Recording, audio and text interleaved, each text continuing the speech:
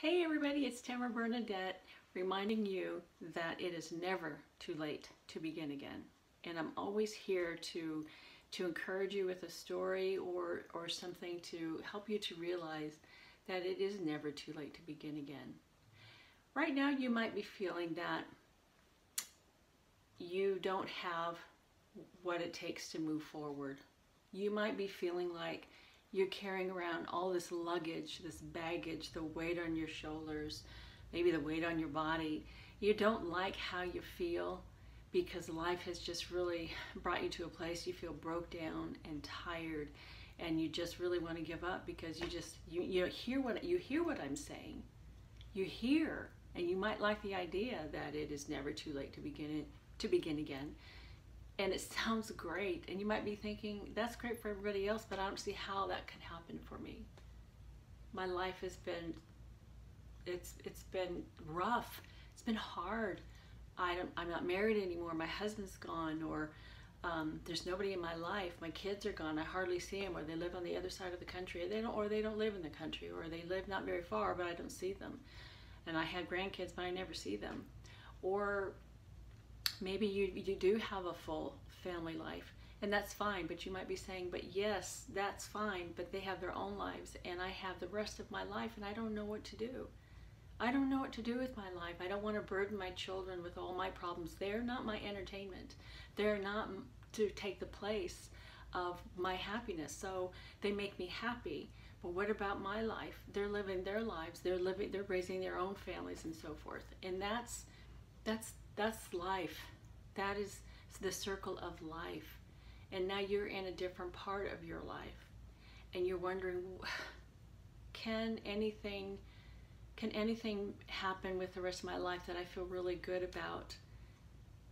And the answer is yes.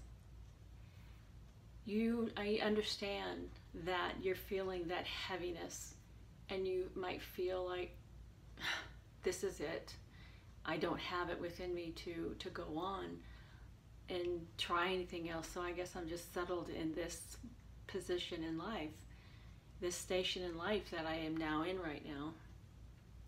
Well, it doesn't have to be that way. If you have a dream that you buried and you want to bring it back, you want to revive it, you want to put some life into it, do it because it's your time. It is time for you to, to get out and do the things that you always wanted to do. Try those things you wanted to try, but you weren't able to. Now you can. There are free things. If you if money is an is an issue, there are things that you that are free. get out and find out. There's some work that you have to do. It's looking into your communities. It's looking into the library. It's looking online and looking for different things. They're out there. But you have to get proactive. And sometimes that's not even, sometimes that's too much because you're feeling so down, so discouraged, so out of place that you don't know how to start because you're you might not feel like you even know who you are anymore like I like I was saying, kids are gone, so you're no longer a full time mom, wife, and all these different things. It's just you. And if it's not just you in the house, you still feel empty. You still feel like there's more for you right now. And there is. And it's inside of you. The answer is inside. But the first thing you have to do is take care of yourself. You have to put yourself first. And sometimes that might feel like a very daunting task. And so I want you to understand you're not alone. You're not alone. You don't have to do this by yourself. And if you think that you have to let go of the past and feel guilty about it, you don't. It's okay to let that go. It's okay. It's okay to say goodbye in fondness, or I'm putting you over here in fondness and, and in love and understand that God says, forget the past, forget the former things. Those days are those days are done. Move forward. Move forward even with a better relationship with your kids, with your spouse, with friends and so forth. But move forward. You're changing. The reason why I know you're changing is because you are questioning. You are questioning yourself. You're questioning your future. You're questioning everything. So that's a huge sign right there. But God says, forget the former things. I'm doing something new in you. I want to do something new in your life, but you have to let go of the past so you can stop comparing. Forget those things so that it leaves room for God to come in and open some doors for you, to make a way in the desert, to light up the path in the in the wilderness, in the desert. Let him do that for you. He makes streams in the desert. Let him do that for you. And, and, trust that because he will take you down the path of the areas that you need to work on. Everybody's different. I completely and totally believe in self care being the number one thing that you need to do before you can proceed into the goals and plans and dreams that you have for yourself so you can build up your confidence. I firmly believe in that. But sometimes before you, before you can do that, you have to get with God and hear Him and let Him guide you. Let Him pull you out of that darkness. Let Him pull, let Him pull you up out of, you know, you feel flatlined and you you feel awful and feel crummy and weighted down. But let Him help you before you can move on. So again, forget the past, forget the former things, so that you can move forward and have the best things that God has in store for you. I firmly believe in this. I really do. These are um, these are from my own experiences, so I speak from experience. So I know what I'm saying because I know for years I felt like I was in the dark. For years I was in the wilderness. For years. And I thought I had to figure everything out on my own. I did, and I tried. I really tried. And I fell on my face many, many times and made a lot of mistakes because I did not understand that God really wanted to help me in the ways that He has helped me. And He's still helping me. He will continue to help me. I don't I don't got this. I never will.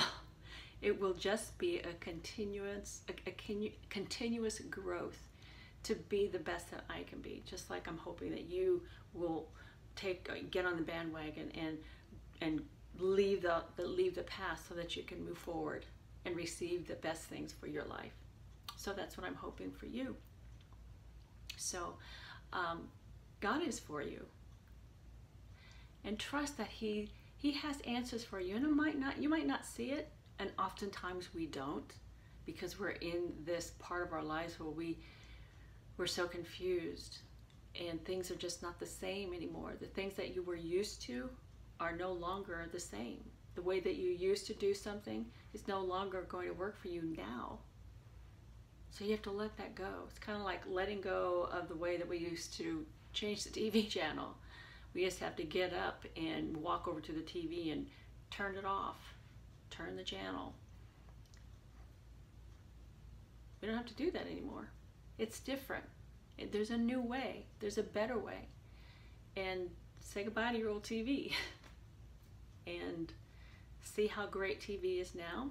I'm not a big TV fan. I'm just saying you see how how different it is and how all the options and all the wonderful things about it versus how it used to be. It's kind of like how it is with your life. Let go of the past. It was great, you know, it was fine. But now you do things differently. You watch TV differently. You're going to have relationships with your kids and your family and, and friends and everything. That's going to be different. It's going to be higher levels. Higher levels because you are entering a higher level of living.